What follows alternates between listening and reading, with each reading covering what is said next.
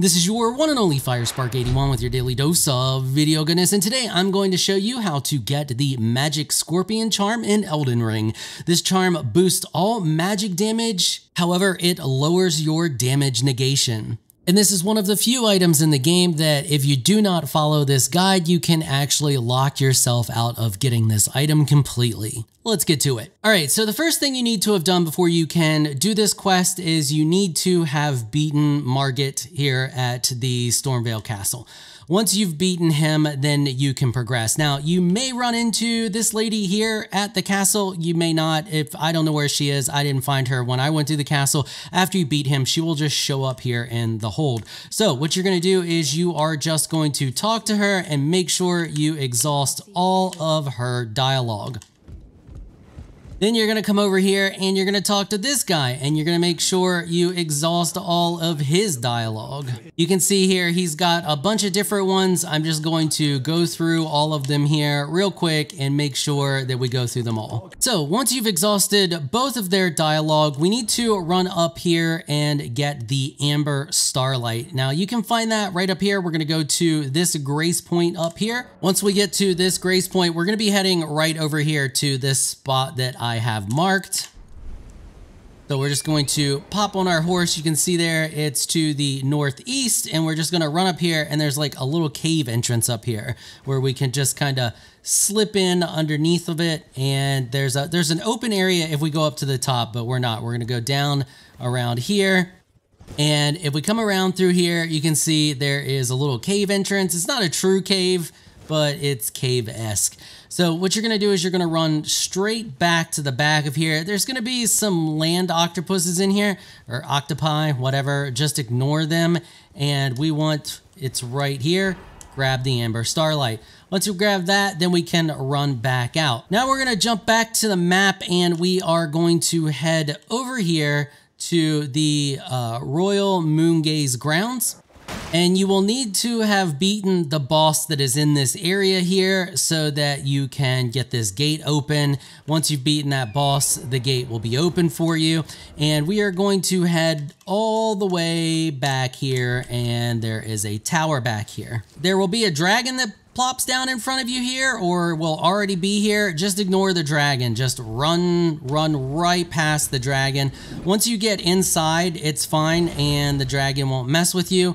But uh, yeah, just dodge it. Make sure you do whatever you can to put stuff between you and it, just in case it decides to use any type of flame attack against you, and just run past it.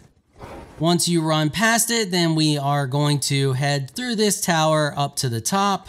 And there is a grace point here. We're going to grab that grace point, And then we are going to continue our way to the top of this thing until we get to this, stand on this and activate it. And what we are going to do is just run all the way up to the top of here and we are going to speak to this lady. When it comes up for the option here, you want to select this one. You want to serve her and then you want to go through and just exhaust any dialogue that she has. Okay, now that we've exhausted all of her dialogue, we can run back down to the bottom. And there's going to be a bunch of ghost images of her servants down here. Now, just go through here and talk to this guy, exhaust all of his dialogue.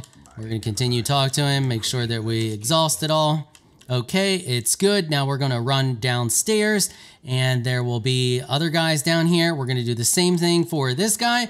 Talk to him, exhaust all dialogue. Once you've done that, then we're to go over here to Vesuvius and we're to do the same thing for him. Once you have exhausted all of their dialogue, we're to go back up and talk to the witch again. We're to do the same thing that we did before. Once again, keep talking, make sure you've exhausted all dialogue options and she's just repeating the same thing over and over again. At that point, you will finally be allowed to leave the area. If you don't do this, uh, you kind of get, there's like an invisible wall and it traps you in the area. So once we've done that, then uh, we can now leave the area. So now what we're going to do is we're going to head straight to Vesuvius. So we're just going to run over this way and bypass this dragon because we don't want to have anything to do with him. If we fall right through here, we should not take any fall damage. There we go. And his tower is right here. So we're just going to run over here to his tower. And we're just going to talk to him and exhaust all of his dialogue. He's going to give us a task to poison the lady that we talked to first, the warrior lady. We're going to accept that task and we're going to continue to talk to him, make sure that he's repeating the same thing over and over again. Once you have done that, fast travel back up here to uh, Ranni's Rise or Ronnie's Rise, however you pronounce her name. Uh, fast travel back up here and we are going to jump on our horse and we are going to head back down and out because we need to he's got a secret lair over here in this uh this these ruins area over here. So we're just going to go over here. We need to get inside this area. Just once again ignore the dragon. It's fine.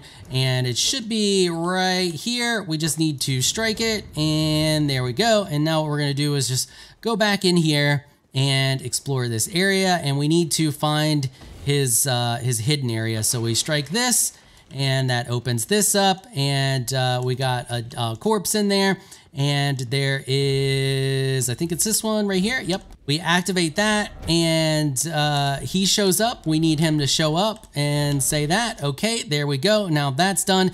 Now we need to go back up top and talk to him again. And we'll have slightly different dialogue than we had before and that's what we want. So now that we've done all of that now what we need to do is head back to the Roundtable Hold. Now that we're back at Roundtable Hold, we just need to go over here and quickly verify that she is no longer here. Yep, the warrior lady is no longer here. That means she is over here which will trigger our second round, the village of the Albinaria, or whatever they are. We're gonna head over there. So from this waypoint, we just need to ride over here and she is underneath of this bridge over here. So we can just bypass all of the nonsense that's in this village and she is right over here underneath this bridge. So what we're gonna do now is just go through and exhaust all of the dialogue that we have with her. And now we head back to the round table hold and she will be over here underneath of the stairs. We need to go over here and now talk to her over here. I know this is the most convoluted nonsense of a quest line I've ever seen in my life.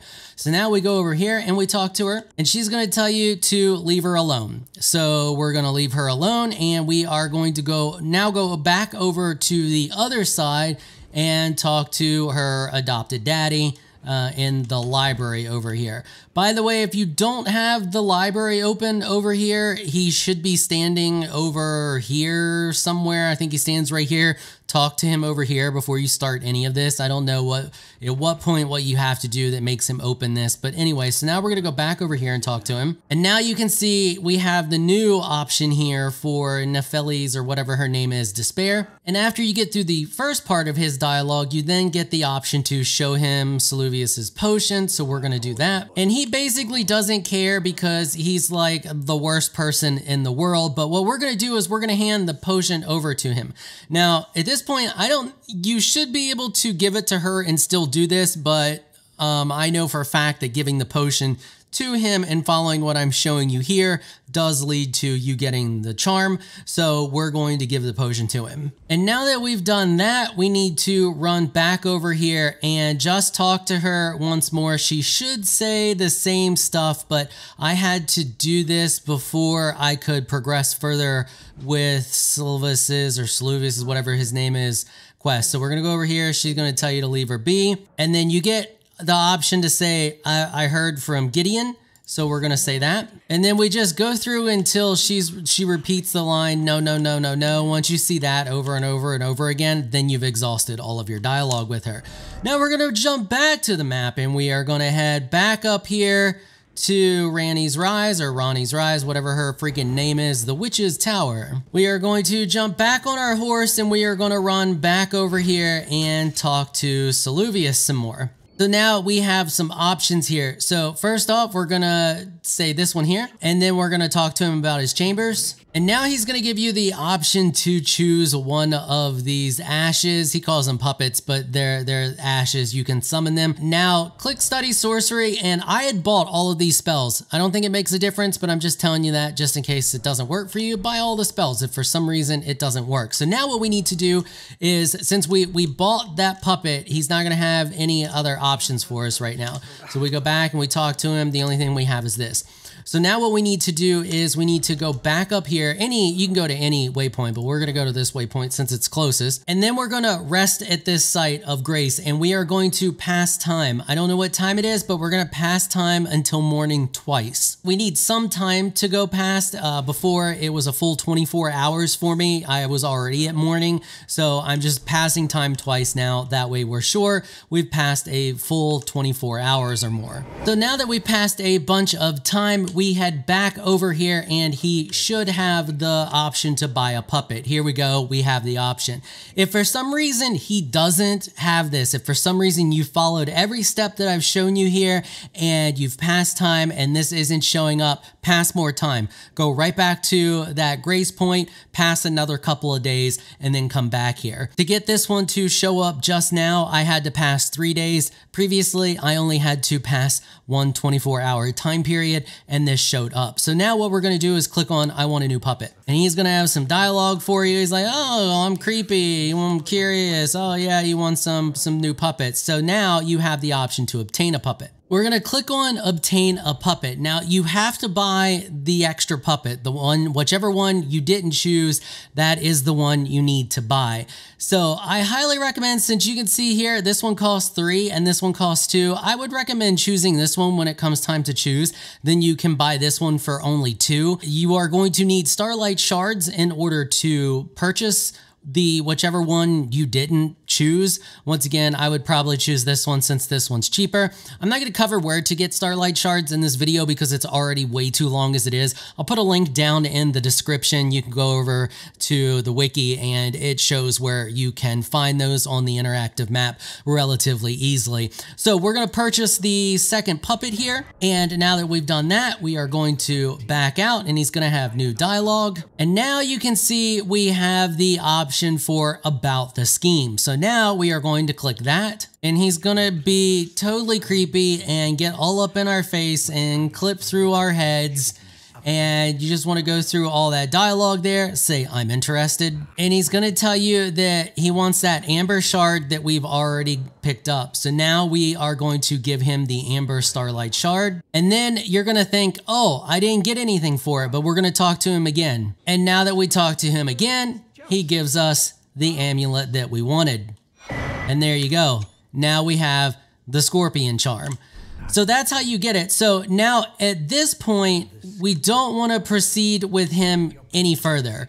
If you proceed with him any further, you are going to go to a quest line that is uh, leads to killing the witch. So I mean, if you want to kill the witch and get whatever ending that ends up with, um, then then yeah, go for it. But just so you know, if you go through his quest line any more past this, you will end up uh, not getting the ending where you side with, with the witch up there in the tower. If you want to side with her, once you get the Finger Slayer blade, you go give it to her, and then when you come back over here, he'll be dead. But we don't really have any use for him at this point anyway. At this point, we've done everything there is possible to do with him. If we've if you've already bought all of the spells, you can go back to him at this point and still buy the spells. Um, but yeah, buy the spells. Uh, we've gotten both puppets and now we are good to go. Uh, you can get special puppets through him, but that's a totally different quest line. And I don't know if that leads to you getting the charm or not. And honestly, they're not the best puppets anyway. There's other options out there.